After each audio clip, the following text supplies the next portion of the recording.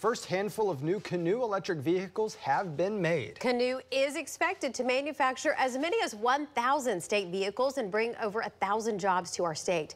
Haley Wager takes us inside the Canoo facility. The company says these vehicles they're manufacturing are the first built here in the state since 2006. And you could see vehicles just like this on Oklahoma roads as soon as early 2024 getting a first-hand look at Canoo manufacturing facility in OKC. The startup electric vehicle company has plans to make up to a thousand vehicles for the state. And they've just finished the first three. These three are going to be going to work in the state of Oklahoma, and they will be assigned to the administration into their pool. The plan is to send the vehicles to OMES, which is still deciding whether to buy a fleet from Canoo. We still have never taken a dollar from the state of Oklahoma, just to be clear.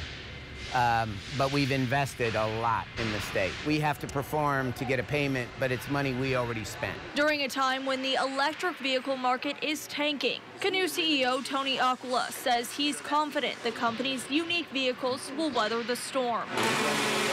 Canoo's plan is to create vehicles that will last at least three generations.